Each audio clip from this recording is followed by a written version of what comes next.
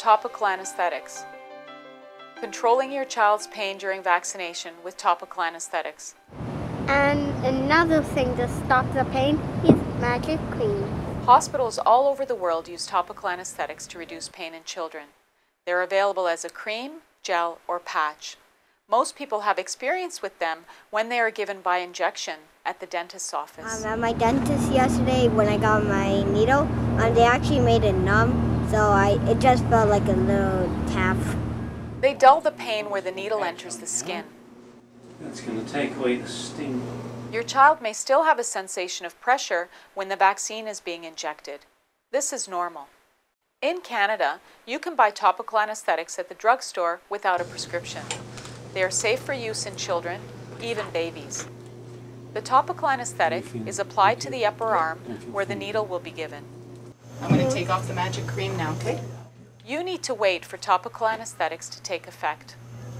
It's a magic cream. Yep, the magic cream is on you. Maxilene takes 30 minutes to work, Ametop takes 45 minutes, and Emla takes 60 minutes. If you expect to wait at the clinic, you might want to apply them there instead of at home. If you are using the patch, just peel off the backing and stick the patch on the skin. If you are using the cream or gel, squeeze it out of the tube in a circular pattern on the dressing that's provided until it's about the size of a nickel. This is one gram of the anesthetic, which is one dose. And then put the dressing on your child's skin. Make sure the edges are sealed so the anesthetic doesn't leak out. Fold over one corner of the dressing onto itself so you have an edge to grab onto later, to make it easier to take it off. If the dressing is not available, you can use plastic wrap. Just wrap it around your child's arm. Ask your doctor whether your child is scheduled for one or more vaccinations so you know whether to apply the anesthetic to one or both arms. Feels good, eh? Make a note of the time you applied them, or write it directly on the dressing or patch with a pen so that you can make sure you remember to take them off at the appropriate time.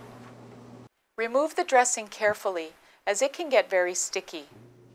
If you remove the dressing too quickly, it can cause your child discomfort, like when pulling off a bandage. We're going to find that little edge and then stretch it like that. Instead, pull the dressing out and away from the skin slowly while securing the opposite corner. The dressing stretches and it will lift off the skin without causing discomfort. Then just wipe the skin with a tissue. You can use a washable marker to show where the anesthetic was because sometimes you can't tell after you take it off. You might notice some changes to the color of your child's skin, either reddening or whitening.